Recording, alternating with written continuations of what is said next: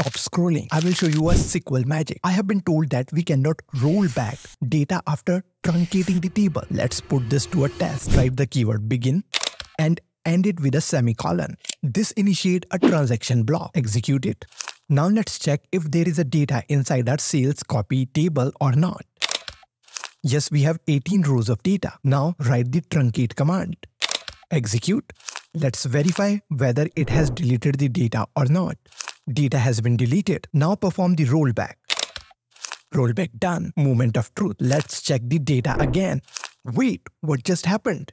Did we successfully roll back the data after truncating? This is not a magic, my friend. In PostgreSQL, when you truncate a table within a transaction, the table is marked as truncate pending. The actual removal of data is postponed until the transaction is committed. This feature is not allowed in Oracle database. For more SQL tutorials, subscribe now. See you tomorrow.